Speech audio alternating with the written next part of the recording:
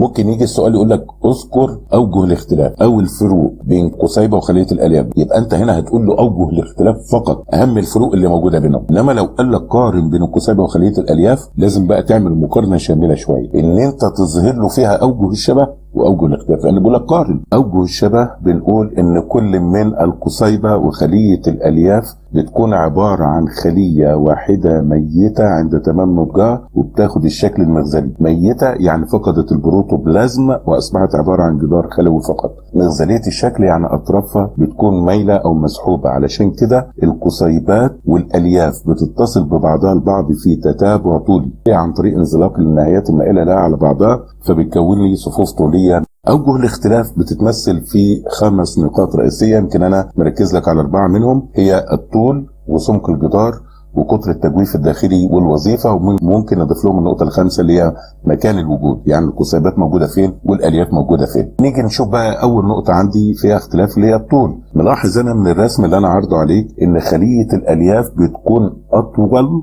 وأضيق من القصيبه بالنسبة لسمك الجدار ودي النقطة الثانية اللي بيظهر فيها اختلاف ما بين الاثنين الاثنين خلايا ميتة والاثنين جذورهم سميكة وملجننة. يعني كل من القصيبه وخلية الألياف بترسب لها جدار ثانوي سميك من مادة السليلوز واللجنين. بس سمك جدار خلية الألياف بيكون أكبر بكتير من سمك جدار القصيبة. ليه؟ لأن خلية الألياف بتأدي وظيفة تدعيمية بحتة علشان كده بيكون جدارها سميك جدا. أما القصيبة بتأدي وظيفتين التدعيم وتوصيل الماء والأملاح من خلالها. فعشان تأدي وظيفة التدعيم لازم يكون جدارها سميك وملجنن صلب يعني. بس سمكه بيكون أقل من الألياف عشان يبقى تجويفها الداخلي واسع يسمح بنقل الماء والأملاح. وأنا قلت قبل كده إن الزيادة في سمك الجدار بتكون على حساب الحيز الداخلي للخلية. فكلما زاد سمك الجدار الخلوي كلما قل الحيز الداخلي سواء كان فيه بروتوبلازم أو البروتوبلازم اتحلل وساب مكانه تجويف فهنا كل من القصيبه وخلية الألياف خلايا ميتة فقدت البروتوبلازم وكون مكان البروتوبلازم تجويف فلما سمك الجدار في خلية الألياف زي ما أنا شايف هنا يكون سميك قوي كده قطر التجويف الداخلي هيكون ضيق.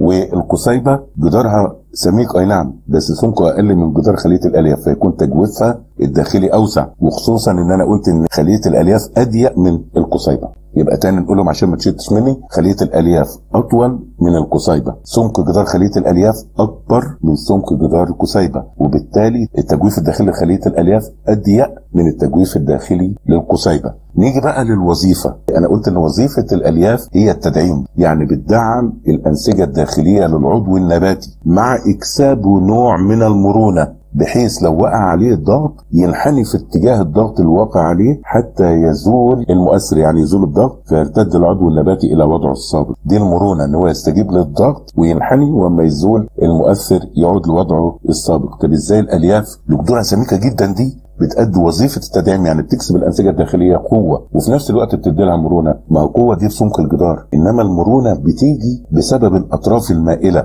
أطراف الألياف اللي هي بتكون مائلة ومنزلقة على بعضها دي ما هيش متثبتة ببعض جامد لا ده راكبة على بعضها بسبب إن هي مايلة وممكن تنزلق لأعلى والأسفل. فما يحصل ضغط على العضو النباتي النهايات المايلة بتاعت الألياف تنزلق لأسفل بحيث تخلي العضو يستجيب للضغط الواقع عليه وينحل في اتجاه الضغط. ولما يزول الضغط الواقع على العضو النباتي بتبدأ النهايات المالية ترجع لوضعها السابق يعني تنزلق في الاتجاه العكسي وترجع لوضعها السابق. فيرتد العضو النباتي مرة أخرى إلى وضعه السابق ويستقيم كما كان.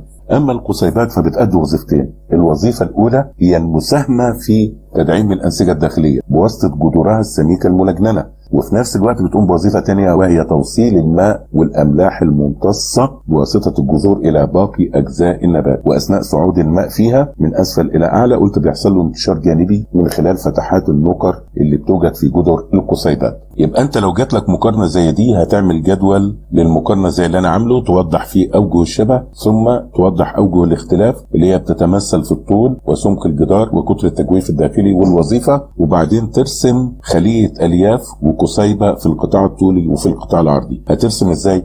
أنا جايب لك هنا رسم خلية الألياف. ترسمها بحيث تبين إن هي خلية بتكون طويلة وضيقة وأطرافها مسحوبة يعني أطرافها مايلة. وتبين في نفس الوقت إن جدارها سميك يعني تغلظه بالقلم وأنت بترسم قوي بحيث تسيب تجويف داخلي ضيق. القصيبه ممكن ترسمها زي خلية الألياف بس تراعي الآتي تراعي إن أنت وأنت بترسمها ترسمها شبه خلية الألياف يعني خلية بيكون مغزليه بس يكون طولها أقصر من خلية الألياف وعرضها أكبر من عرض خلية الألياف وأطرافها بتكون مايلة أيضا. هجيب لك صورة هنا لحزمه وعائيه من الحزم الوعائية لسيقان ذوات الفلقة الواحدة موضح فيها شكل خلية الألياف وشكل خلية القصيبه هتلاحظ عندي هنا في الرسم دي ألياف اللي هي بتحيط بالحزم الوعائية مكونة غلاف الحزمة. ركز معايا هنا هتلاقي إن خلية الألياف بتبان مضلعة خماسية الاضلع وجدارها سميك جدا وتجويفها الداخلي ضيق. زي ما أنا بشاور كده. دي خلية الألياف. القصيبه بتبان في القطاع العرض أهو. دي القصيبات اللي أنا بشاور عليها بالمؤشر اللي موجودة بين الوعائين الكبار. تلاحظ إن كل قصيبه بتكون مضلعة خماسية الأضلع أو سداسية الأضلع زي الألياف. جدارها سميك بس لو قارنت سمك جدارها بسمك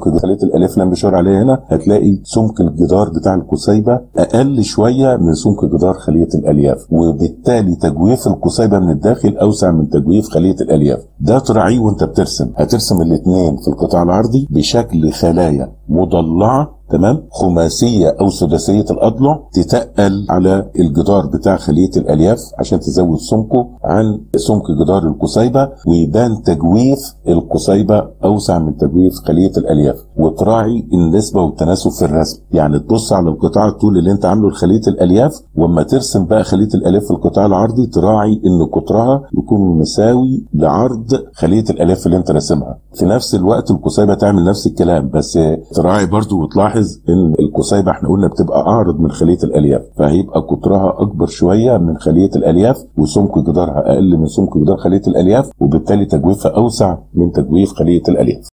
يا رب إن عظمت ذنوبي يا رب إن عظمت ذنوبي كثرة. فلقد علمت بأن عفوك أعظم. إن كان لا يرجوك إلا محسن. فبمن يلوذ ويستجير المجرم؟ أدعوك ربي كما أمرت تضرعا. فإذا رددت يدي فمن ذا يرحم؟ ما لي إليك وسيلة إلا الرجاء. وجميل عفوك ثم أني مسلم. وجميل عفوك ثم أني مسلم. 嗯。